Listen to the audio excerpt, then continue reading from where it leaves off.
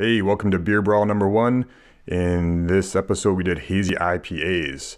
I had Kent Cortese from Boombox Brewing, uh, Tim Mortensen, and Ryan Baker from Camera. They were all uh, we all got together and tried these five delicious hazy IPAs. On um, the first one you see, see here on the left is uh, Fuzz from Structures Brewing in Bellingham, followed by Bright from Treehouse Brewing in Massachusetts, Heady Topper right in the middle there. That's the original, the OG hazy IPA from uh, from Vermont, from the brewery called the Alchemist. Next up was uh, a collaboration between Gigantic Brewing and Superflux. It's called Pretty Much Yeah. And then last but not least was uh, Juicy AF from Boombox Brewing. And we basically took these beers. We each took one beer out of a bag and poured it. So we only knew of one of these beers. And then we sat down compared notes, figured out was which ones we liked better and why. Uh, Kent is very well known for his hazy IPAs. That's one of the ones on there on the, on the right hand side, the juicy. And so he kind of broke down the style for us and the history of it and just really gave us a good rundown on what makes a good hazy IPA. And uh, the numbers are actually reversed. So when we talk about one, we're talking about the one on the right. When we're talking about three, four, five, it goes the opposite way. So uh, here we are just setting up and getting everything going and uh, take it from there. Yeah. All right, so, so Okay, we got five hazy IPAs, New England IPAs, Northeast IPAs, and all the juicy IPAs. So uh, Ken's from Boombox Brewing, uh, Brewing, and they kind of specialize in this style of beer. So maybe just give us a quick rundown of what sure. that is. Uh, the beer is really popularized out of Vermont. Uh, breweries out there were known for making uh, super hop forward, new American style or Australian uh, hop varieties. They tended to be a lot hazier than all the other beers, kind of went against the grain. And over the years, other brewers started picking up on it, refining it even more. Beers gotten hazier, and the hop bills I think have been going up, and they've just kind of evolved. And uh, now we're starting to see the beers getting brewed all around the world. Uh, obviously, Vancouver, there's a bunch of us doing it now and uh, it's even Portland. Some of the breweries that are starting to pick up with Great Notion and stuff. So it's it's becoming a style that's quite common and extremely popular. Yeah. What's what what causes the haze? Like what before beers were everyone's like clear. It's gotta be clear. Now, why why why, why is it hazy? Sure, there's a lot of reasons. Uh, some of them are debatable. A lot of it is is uh, they're not filtered. Uh, generally, don't use a lot of finings in them, uh, so they're not running them through centrifuges or any filtering pads. Uh, the yeast they use tends not to flocculate out, and the heavy dry hopping seems to stick to the uh, the yeast causing that haze. Okay. So over time, we'll see them start to drop out, and then the bottom of the cans, uh, you'll see some sediment fall out, and that's normal. Yeah. Uh, you can even get some chunks in some of them, depending on uh, how much yeast or how old the beer is. Uh, but it's generally a combination of all that. Plus, they use adjuncts like flake wheat, flaked oats, stuff with high protein content, and that stays in suspension in the beer. The proteins give it a haze. Yeah, yeah kind of like a Hefeweizen. Okay, yeah. You were saying something before when we were talking about some people using flour. Is that an actual thing, or is that kind of a rumor? Uh, I don't know anyone that does. Okay, I've heard yeah. people might have or in recipes. I don't see the benefit to it. Not like in a commercial setting, no. Yeah, I don't think that would really do anything. It'd be something that might gum up your mash. So yeah, I've heard rumors, but I don't know anyone who's actually put flour in. Yeah. Okay. Okay, so we're gonna trade. We got five different beers. We have them from all over. I'm not gonna give you specifics because not everyone knows exactly where they came from. But uh, tasting these IPAs, what are we kind of looking for? Do you guys have any input on what you look for when you buy one of these IPAs? What you really want? Like, are you looking for like a citrus? Are you're looking for melon? you're you looking for mango? Bitterness, whatever. Not too bitter. No citrus.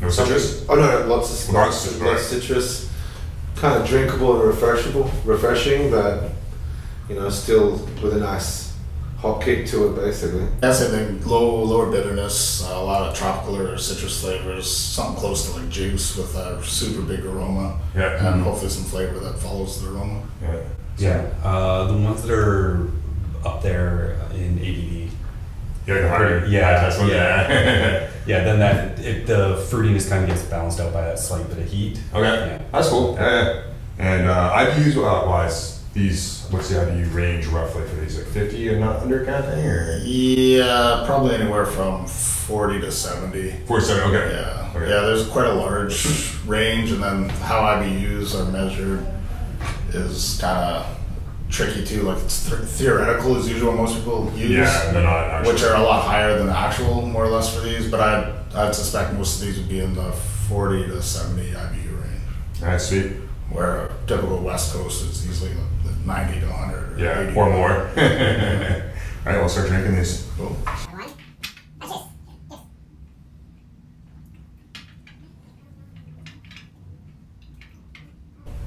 So, yep. Juicy, citrusy type of beer. Really hazy too compared to the other ones. Yeah. That one's like dense. Some of these you can kind of see through a little mm-hmm. bit, but that one's super dense. Like the complete absence of carbonation or the carbonation feeling. Alright. It's just gone. It's good. And so, when you're carboning these beers, are you looking for like, kind of two volumes, like a more moderate carbonation, or Yeah, traditionally, traditionally, not like the old style, but they tend to have a slightly lower carbonation, I think, overall, uh, to help with the mouthfeel. But uh, that's not to say they all are. Some are actually fairly highly carb just to help push the aromas. All right. Yeah, I don't know if there's an actual preference? Yeah, Yeah. preference. I know a lot of people tend to go on the lower side. There's a real funky smell. Yeah. I don't know Yeah. if it's like cantaloupe or Yeah, yeah, kind of. Yeah, I mean, I can't smell very well, and my ability to smell is not great. Yeah, there's something Jimmy hits. hits when I was a kid in hockey, and uh, I got my nose cauterized like three times by the time I was like seven years old. So my nose is just like scar tissue inside. I mean, I can smell things, just I, not. I remember you were saying that. Yeah, I, I, don't, I don't I think up like on it's funny. Like I smell it, but sometimes find it hard to think what like that reminds me of. You know? Yeah. you know, like citrus, but you know, but you know, sometimes depend like which type or like Yeah. you know, not, melon is very. I think that's an easy smell to detect, right? Mhm. But you know, some of the other ones, it's, it's a blur of just Something. Good something. smell? Yeah, yeah. I know it's always like, oh, it's fruity, and this one's like, it's like stone fruit or jackfruit. I'm like, yeah, I think you're right. Yeah, Sure. Yeah. so, some of the I the descriptions people pull out sometimes are pretty funny too. Yeah. Number three. is- Oh, number three is different. It's got that. I think it's probably an older example. It's got kind of that off, like once the hops start to drop. Yeah. A little bit of that going on. That's probably gonna. Been a few weeks past its prime, maybe. Yeah. Yeah, so just so for the record too, some of these beers were sent out probably about three weeks ago to me, and some of these, one of these I had sit in my fridge for a couple weeks, and one of these is probably pretty fresh, so they're not like all on an even playing field as far as freshness. But you were saying too, like some of your beers, like you won Yeah. this choice for like a one day old beer and Yeah. Elf, like a two month old beer or something. Exactly. So most of them, a lot of people want to drink them as fresh as humanly possible. Um, I find they tend to get better a week or two weeks in the final, like in the can or in the keg. Yeah. I don't know why that is necessarily. Maybe they're getting turned around too quickly. And even like uh, John Kimmich from Heady Topper, he said the same thing. He prefers Heady Topper a couple weeks in versus straight out of the bright tank. All right. Um, so it's almost counterintuitive where everyone, I want the freshest IPA possible. Sometimes it takes a week or two to balance out, and I found a lot of ours got better over a week or two, sometimes three. But then they start hitting that point, you know, and it can be four to six weeks where they start dropping off, and some drop hard and fast, and some can actually age out a bit. All right. Yeah, they're still near the end, though. They're still not as good. I remember your, your triple IPA. You were like, hold on a week. Yeah, that one for definitely sure. made a difference, right? Oh, On that one. drop. Mic drop. Yeah, I had that in the Yeah. brewery, and I had it a week or two was- after. It was- Yeah, same. way too fresh. Yeah. Yeah, but you had a shit ton of hops in there, right? Yeah. Like, all your hops that you had It left. was in like so dang. That was that beer just was like just just so like dumped the entire hop freezer into that. Like the top, I took a photo. It's just the whole fermenter was just covered in hops, and, the, and that was why I needed more time because we couldn't get the hops out. Yeah, right. And that was like, if you had it, there's that bit of a burn, the Yeah, acid yeah. burn. So it wasn't. It was a, like the bitterness, but you're actually it was the hot particulate that was burning your mouth. so it was like ten percent too, wasn't there? Some or nine percent? Yeah, it's ten or eleven, Yeah, I think. So yeah, we're hoping, but we're really ambitious trying to turn it around. triple in like two weeks. It was kind of ridiculous. Mm. it was That was good one. coming to the end of the time there, so you had to do it Yeah, that was the last one. So So go out with a bang. go out with the big.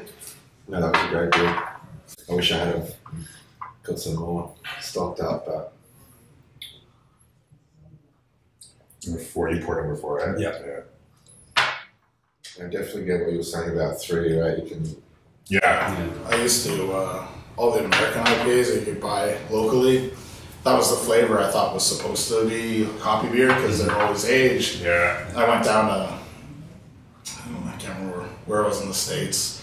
California. Anyway, the uh, ordered like a fresh thing of like arrogant bastard or something like a stone beer, and it was didn't taste like this. Doesn't taste like what I thought it was. Yeah, yeah, yeah. But because that was the difference between the aged IPAs we're getting here versus some of the fresh ones. But I think we're seeing a better job with some of the fresher IPAs getting imported in, and then also Quicker. then locally too. When we got Yeah, local beers yeah, you can buy. yeah. It helps, but yeah, that that's that flavor. I remember when I first got here, I was drinking like uh, Stonewood was one of them, and Dogfish Head, and then they Yeah. both kind of disappeared. And I heard it's because like Dogfish Head was hearing that their beer wasn't well received here because it was old. By the time people actually get like, oh, this is not big of a deal. It's not that good. They're like, well, we've been sent in cold trucks and stuff like that. And First time um, Stone um, enjoy by, you know, the stores Yeah. are getting it the day before it's yeah, past the yeah. day, on the and, shelf and on even like a month after, you know, that it's kind of like you should you should be slashing the price after that. Like you're Yeah, basically yeah. telling me it's it's not good now, but I mean, it makes a big difference sometimes. Like I remember those ones, you know, you could kind of tell they were dying. Like you That's know, the problem. Yeah. Mhm. Who knows? Like in transit in the warehouse, they're probably not refrigerated. yeah. Or they're getting put warm and then cold, and then they take it over. Yeah, I'm always so pedantic about that. Like, Yeah. you know, you want to get it straight in the fridge and don't want it to go warm. I mean, as long as it's not going hot, right? Basically. Yeah, the key is like these beers are really fragile compared to even other beers because there's so much hops in them um, that they need to be really taken care of. Especially temperature is a huge, huge thing. So we always try and keep it. Once you start cold crashing it and moving forward to the bright tank carbonation packaging, it's got to be kept as cold as you can and maintain that. So once it gets out to the stores, we kind of lose that control. But if you're at a store and you're looking at these beers and they've got a stack of them and they're not in the cooler and they're just sitting there or they're in a window display, whatever. Yeah, yeah. Uh, even, Sitting in the sun in the window. uh, even if it says it's a fresh can, you're way better. We had one. We had uh, s- uh, some ultra deluxe, one of our beers stored. Ended up being stored warm. We had a couple four packs that we pulled out. We had in fridges and we drank them side by side. And even though that one was only warmed up for a short period of time, it was a significant difference between that beer and the other. So, yeah, if you hopefully it's kept cold up to the point you buy it, then keep it as cold as you can in your Yeah, fridge and try to drink it. And then like you know, some of them get better as they warm up, but do that in your glass and heat them up in your hand and let, let the Yeah, let sure, them up yeah. and get the nice flavor. But So you can drink it then. It's like yeah, but I try and store them pretty cold, and it'll really prolong the life and maintain the hop character. Because yeah, we noticed. Yeah, the, you know, I'm, I'd be scared. Yeah, a restaurant if they keep their kegs if they're not in the coolers and stuff. With, with especially with this beer, it goes with all beers, but IPAs and especially Northeast. Yeah. If I buy an imperial stout and it comes from the fridge, I, I'm not as worried. Yeah. Okay, I can put that in my cellar. You know, at times I'd said, do you have one that hasn't been in the fridge? With imperial stout, it has to, if, like, it's pretty hard to even notice. But like you Yeah. said, these are so sensitive, right? Like, just a slight little, you can you can notice it so much more. Yeah, it'll really uh, accelerate the aging process of the beer. Right? And with them being in cans, like the cans don't insulate as well either, right? So if they're out for long, or not even a short period of time. Yeah, they're you're right with that too. But the cans also are good for they block Block light, the yeah, so. yeah. I mean, you, you guys wouldn't see that as much. Just your beers wouldn't sit on the shelf for very long. Uh, yeah, I. Yeah. Well, I was gonna go with you. You guys did the the takeover at uh, Twelve Kings. That's right. I missed the one because I don't usually drink Wednesday nights because I work late, and I was Yeah. like, I'll go there the next day on They're Thursday after work, and it's right by my ad. And I'm like, motherfuckers. Normally, normally tap takeover for a week. There's like, Yeah. I went over to one at Rogue, you know, like a week after they had the um, Al Smith. Yeah, yeah, that one. Yeah, when we got a bit of leftovers and Yeah. Got to try the tie and you know a few. So I didn't have to try that one. Yeah, that's good. Yeah, yeah. That's So so wait, did I try Thai? Sorry, Sorry. or they still have that. I'm surprised I didn't kick. Yeah, yeah. Um, They had a couple had, other, like they had the Wee Heavy and some of that, but had the weird. those aren't as popular though, right? Yeah, everyone wants the Speedway. They had Speedway Yeah. and Thai. Yeah. I don't think they had the barley wine. And can only do one flow. I was like, Yeah. Yeah. They had the barley one at uh, Pearl Pearl. Fort I don't oh, know yeah, I if saw that. Yeah, I don't know if it's still there or not, but I remember them saying it was. yeah, it was on, it was on Sunday. You you went Yeah, down, right? Yeah. It's good. Yeah. Yeah. Next morning wasn't good. I was, Yeah. I, I was like, there's gonna be some sore heads in town. Yeah, Barley Wine Festival on a Sunday. Damn. yeah. I, I was. Barley wine's interesting. That You know, it's, it's definitely a style. You just, you know, uh, like one of these. You just Yeah. Yeah. enjoy it over 40 minutes. Just savor the flavor, and then plus they're Oh. gonna warm up so much. Yeah, The number to the craft one, flavor. I can drink that tall boy in This one here? Yeah, this one's seven really good. minutes. Yeah. Done. Yeah, you're drinking fast. Oh, this no problem. Oh no, I thought you said barley wine. No, Oh, no, oh, no. This number one here. Yeah, Yeah, this that's one really Oh yeah. It's Yeah, just so I think that leaning towards that so far. That one's pretty good. it's so drinkable, and I'm pretty sure the ABV on this is not four or five. I'm thinking like so far for me, one and five. I like, like About to hit five, definitely one. Yeah, I five's think interesting. my favorite so far. it's not as it's not like a, it doesn't have that same like feeling in my mouth, but It's almost lemony. yeah. I find it too, like all the hops too, like it kind of sits in the back of my tongue. And I Yeah. don't always enjoy that. Like some of them do it well, and some of them like you know drink some water after. But this one's nice and smooth. Though. Yeah, I first uh, hazy IPA I had that was actually bitter last week, and it's a weird, weird feeling. Yeah. Yeah, you don't get a lot of. Oh, of. the one you fruit. mentioned to me? Yeah. Or- okay. Yeah, not a lot of fruit character out of it, and just that bitterness sat there with the weird mouthfeel of a hazy IPA. Just not balanced at all. No, not really. Can you pass me that? Right here. Oh, Yeah, thanks. I'm gonna start figuring out what I'm gonna Yeah, save I a mean, like, the end. So. There's so many people doing it, but still, like, you try ones and it's like, after getting such high caliber beers, Yeah, you know, if someone lot does one, it, it, it, previously it would have been, that's, that's a pretty good beer, but now, now, like, I think everyone in town, the, the standards are being raised, and like you were saying, like, the, not as, not as many imports, they're not as desirable now because they've been sitting there and I can get fresh local stuff and you know, you're supporting a local brewery, Yeah. it's kind of more incentive to Yeah. buy local. yeah, Yeah, totally. although some of the American beers being brewed down the street now, right? That's Yeah. fact, yeah. Yeah. The American beers being brewed here, Mm-hmm. Which can you know exactly what you think? Odin's brewed here. Oh really? Kids, Oh, yeah. that's why they're so cheap. Really? Yeah. I went and bought one the other day, I'm like two bucks and thirty cents. I'm like, oh, buy a couple of those. I thought for import it'd be more expensive. Yeah. Oh, oh, o- Odin, right? Yep. Yeah, so it has been different. tried that stuff? I'm not sure. Fuck that football. I don't know. I've- Northwest. Yeah. It's the first, first one I had was in Seattle, you know, so. Yeah. Uh, there's a there's a couple breweries down there, American ones. Makes sense. They save on the import. Yeah. It's probably cheaper to buy ingredients here too, in Canada. It's all so good for them right You now. think? Should we become a dollar? Oh, it can be too. Depends what their malt bills like. There's some of the most popular malts made in Canada. Yeah. And, uh, like Gambrinus ESB malted malt? and, yeah, Yeah. uh, Armstrong's in it, or like Mhm. it's in BC. So, It's NBC for sure, yeah. so it's yeah, it might be if they use Canadian malts. And I think most of them use Canadian organic malts, so stuff like uh, Hopworks and stuff. They benefit maybe if they ever decided to do stuff north of the border. Probably. Well, so for it's one, one to five, but you can use fractions. So you want 4.2 or 4.3 or whatever, go. every will have a fraction. Yeah. Weird fractions too. yeah. 3.773.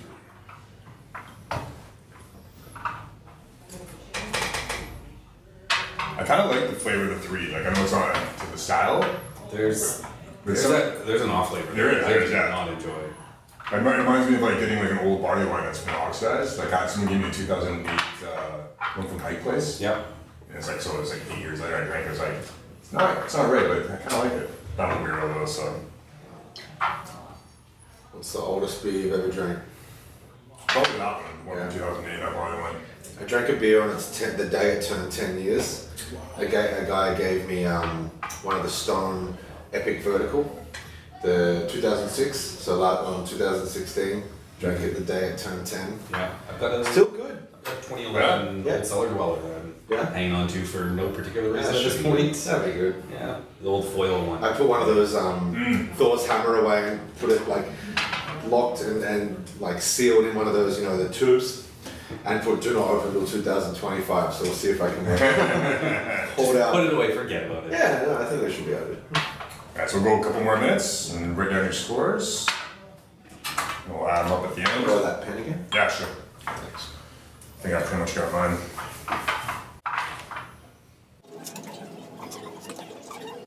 Yeah, it's interesting you mentioned mouthfeel a bit earlier. That's another trademark of the styles, trying to get that pillowy mouthfeel, kind of that thick, almost like juice Yeah. mouthfeel, which is a tricky. Like traditionally, West Coast, you try and get it as dry as possible, Yeah. thin as possible, mm-hmm. and then usually they're crystal clear. Now you're making a beer super hazy, and you want to have that that kind of pillowy. That's what the sauce. oats come into, right? Yeah. Oats comes into play. Do you, do you mash at a higher temperature as well, or is it still below 65, 66 or whatever? So ours tend to be a little bit higher than maybe the West Coast mashing, but I find even the, the salt additions probably help with the mouthfeel as well. Okay, right, right, right. Yeah, and then all the oats and stuff too. But it's uh, yeah, trying to. The first beer that I really got that was with uh, when Superflux was machine at Callister's, and I can't remember which batch it was, but I just remember that. Man, I was just nailing that really pillowy, cloudy, Yeah. Probably cloud kicker. That was like two years ago. Yeah. Well before the. Yeah, they were the front runners in Yeah. BC. Yeah. Like they were making them. I think uh, Bridge was the first one to package with uh, Sidecut. Right, that's right, yeah. Jeremy did it, but they were really nailing them earlier on, and I just remember that the mouthfeel was like phenomenal. Just getting that, and then you know that's where you're kind of seeing that. And that's you kind of need that low bitterness, and you have to. It's kind of a fun. Yeah, it's funny because that, that has been two and a half years since Machine and since Bridge did that. I'll mention like a hazy IPA to someone who's kind of casually in the beer, and they're like, "What's that?" Like, I've never heard of. it. I'm like, "How do you know what?" but then some people they just don't know, right? So an IPA is an IPA to them. So Yeah. And there's a lot of people who aren't willing to pay 20 bucks for a four pack too. yeah, Yeah, that's yeah. not cheap. Yeah. You were saying with your hop loss and all that stuff, like it's it's an expensive beer to, to make. Yeah, we Yeah, have. there's all the hops to go in there, but Well, even before the hop loss, it's gonna be expensive. Yeah, it is. We average about a twenty-five percent loss in volume to hops, wow, which is that's a lot. Yeah. If you if you had a centrifuge, but, but would that really just uh, Yeah, salad and then the centrifuge is from the kettle out to the fermenter, so like that's just gonna save you from some of the whirlpool hops, which is Oh, yeah, this the dry dry hops, the higher, Yeah, and you don't save. And that's where hop powder comes into play. I guess the lupulin Yeah. powder. We don't, we haven't used any since we started canning, but at Callister we use a lot of.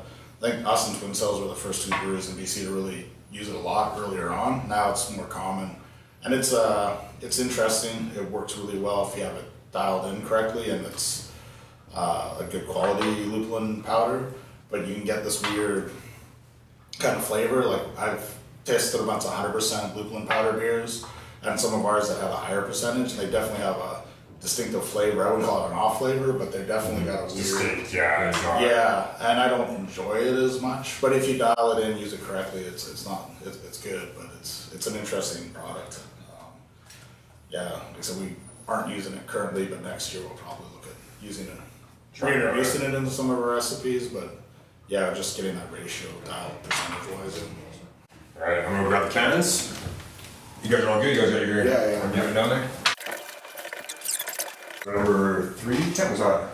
Petty. Okay, that's I figured. That's okay. As soon as I tasted it, I was like, oh, it's too bad. It's a great Yeah, so that's why it's an older can. Yeah, yeah. victim of its age. Yeah. Does it, does it have a brew date on there or anything, or can date? Let's see one.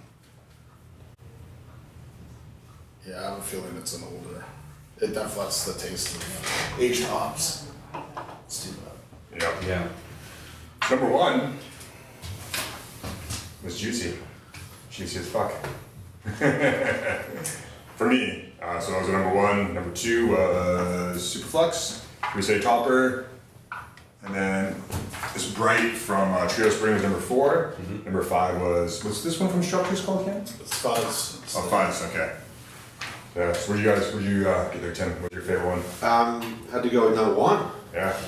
Wow. And you know, that was my first time ever trying that, and I was really Oh, really? that was in the lineup because I wasn't able to get it when it hit stores. It was really nice. I like that. Yeah. That like it's pillow is a good good term for the mouthfeel. Just you can just drink that and you know that it's a high ABV, but you don't taste it. It's got balance. It, it's a fucking good beer. Cheers. I'll have to go find some. so do I. Let's do that again. I might have more in my house. I'll let you know. I might be my wife's, so we'll. we'll see. what was your uh, top one? kind of biased, though, but yeah, I also chose juicy. Yeah, but you didn't know it was yours though. I'm the only one who knew that. But I guess you probably Yeah, know once- you've made it. Yeah. Like I know this one. Yeah. But you also have that as a high one in. Mm-hmm. Yeah. Number one was my high. Yeah. Same.